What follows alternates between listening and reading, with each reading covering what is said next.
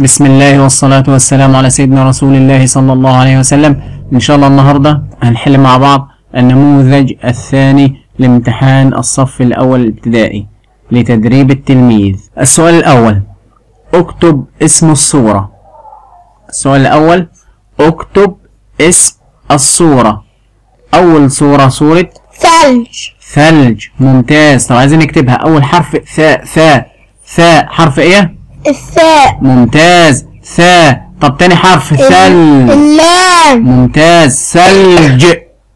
ثل ثلج. آخر حرف. الجيم. الجيم. ممتاز. نكتب كلمة ثلج. تاني صورة. صورة نخل. نخل. صورة نخل. صورة إيه؟ نخل. نخل. عايزين نكتب كلمة نخل. أول حرف ناء ناء ناء نون. ممتاز نون. طب تاني حرف. الخاء أحسنتي نخل. آخر حرف. اللام ممتاز. نكتب كلمة نخل بشكل متصل زي ما إحنا متعودين. دي صورة خبز. خبز. خو خو خبز. تبدأ بحرف إيه؟ الخاء. أحسنت الخاء. طيب تاني حرف. خب ب ب. الباء. ممتاز. خبز. آخر حرف. إزاي؟ أحسنت. نكتب كلمة خبز بالحروف المتصلة بهذا الشكل. صورة إيه؟ مقف مقص. مقص. تبدأ بحرف إيه؟ ميم. ميم. طب وحرف إيه تاني؟ ميقا. قا. القاف. ممتاز. آخر حرف.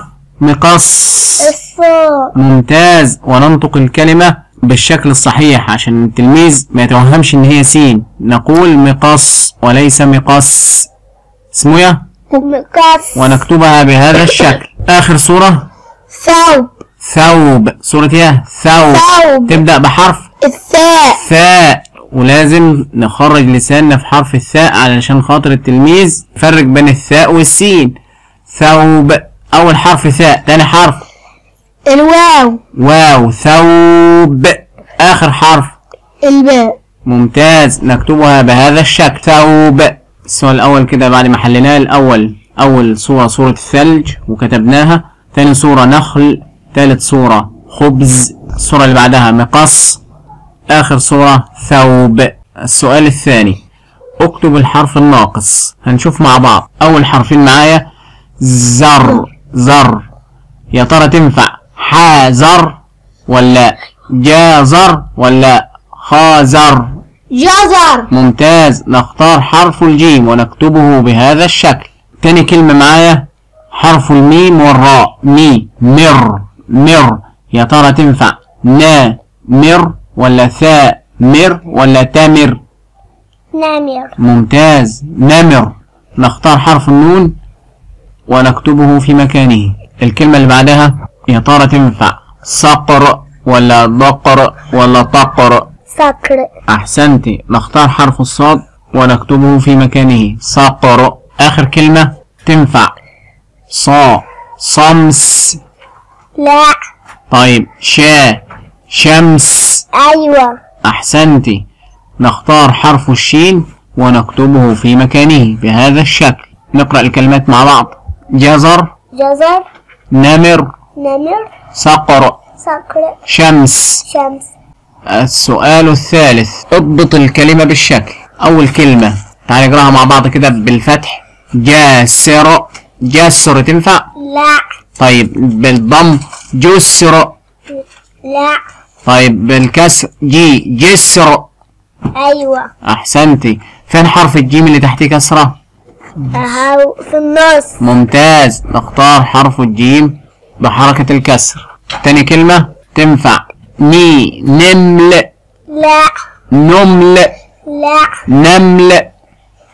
أيوه. ممتاز. نختار حرف النون وفوقه فتحة. نا. نمل. تالت كلمة. تنفع. الضاد عليها فتحة. ضف. ضع لا. طب ضف. ضع لا. تنفع. ضف. ضع أيوه. أحسنتي نختار حرف الضاد وفوقه ضمة. ضمة. أذن. أذن. أو. أذن. أذن. تنفع. أذن ولا أذن ولا إذن؟ أذن. أذن. نختار حرف الألف وفوقه ضمة آخر كلمة حرف ال- حرف الجيم ساكن. تنفع. رجل. لا. طب رجل. لا. رجل. أيوه. أحسنتي نختار حرف الراء وتحته كسرة. رجل. وهذا السؤال ليميز التلميذ الحركات القصيرة. السؤال الرابع. اكتب شكل الحرف متصل. شكل الحرف متصل. حرف الياء شكلها متصل بهذا الشكل. حرف الكاف شكلها متصل بهذا الشكل. حرف اللام بهذا الشكل. ده حرف إيه؟ عين. عين. نكتبه متصل بهذا الشكل. وحرف ده حرف إيه؟ واو. واو. شكله منفصل زي شكله متصل. لا يختلف. وده حرف إيه؟ هاء. أحسنت هاء. نكتبه متصل بهذا الشكل. وده حرف إيه؟ جيم. جيم. احسنتي نكتبه متصل هكذا. وده حرف؟ سين. احسنتي سين. نكتبه هكذا. حرف إيه؟ صاد. صاد. نكتبه متصل بهذا الشكل. وده حرف؟ قاف. قاف. أحسنتي نكتبه متصل بهذا الشكل. نلاحظ في هذا التدريب نلاحظ في هذا السؤال أن لكل حرف ذراع. وهذا وهذا الذراع يمتد إلى الحرف الذي بعده إلا حرف الواو من الحروف الرافصة أي التي ليس لها ذراع. السؤال الخامس حل الكلمات الآتية. أول كلمة نقراها مع بعض. هو هد هد اسمها إيه؟ هود. هد هد نحللها إزاي؟ كل حرف لوحده. الهاء هكذا. هو. تاني حرف. دال الدال. لوحدها هكذا. الحرف الثالث. الحرف الثالث. هاء الهاء. ممتازة. نكتبها هكذا. آخر حرف. دال الدال. هد. هد. هد. هود هد.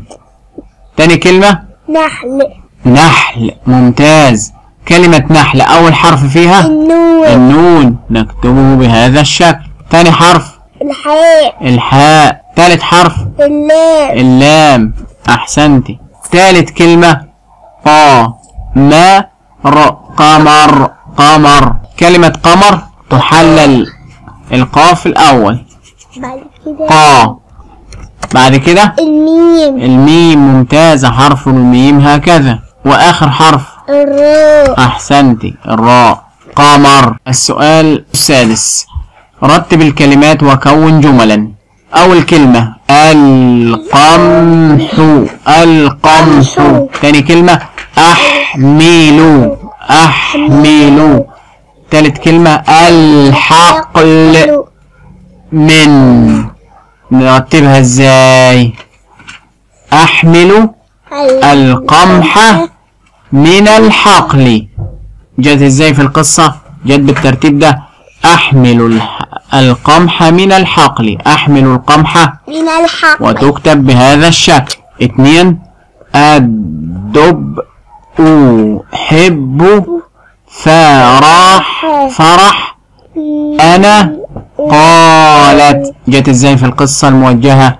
قالت قالت فرح. فرح. أنا أنا أحب الدب. قالت فرح أنا أحب الدب. ونكتبها بهذا. نرتب الجملة الثانية مع بعض. الجملة الأولى. نرتب الجملة الأولى. القمح أحمل الحقل من. أحمل القمح من الحقل. الجملة الثانية. الدب أحب فرح. أنا قالت. قالت فرح. أنا أحب الدب. السؤال السابع. ادمج الحروف الآتية. عايزين ندمج الحروف دي. أول حرف حرف إيه؟ الحاء. حاء. تاني حرف؟ الباء باء. تالت حرف؟ نقراها كده مع بعض. حاء. حب. حب. حبل. ممتاز. كلمة حب. وتكتب بهذا الشكل. تاني كلمة معايا. باء. ولام باء. لا. بلح بلح كلمة إيه؟ بلح بلح ممتاز. نكتبها بهذا الشكل. مدمجة. الكلمة الأولى حبل. والكلمة الثانية بلح. السؤال الثامن. اكتب ما يملى عليك. أنا همليك ثلاث كلمات وأنت تكتبهم. أول كلمة. ع عسى عسى عسل. أول كلمة إيه؟ عسل. تتكتب إزاي؟ العين. ممتازة. آه. عسى سا. السين. بعد كده؟ اللام. اللام. ممتازة. عين وسين ولام. وتكتب بهذا الشكل. تاني كلمة اتملى معايا. قو قو ده حرف إيه ده. القاف ممتاز. قط قط قطن. النون. ممتاز. وتكتب بهذا الشكل. كلمة عين. أول حرف ع. ع. حرف إيه العين. العين. تاني حرف عين. ياء الياء. ممتازة. آخر حرف عين. أحسنتي. وتكتب بهذا الشكل متصلة. إن شاء الله نكون خلصنا الامتحان. وبإذن الله هسيب لك نسخة من الامتحان بحيث إن أنت تحملها بسهولة. ممكن تحملها وتمتحن ابنك أو تلميذك. والسلام عليكم ورحمة الله وبركاته. وانتظرونا في النموذج الثالث.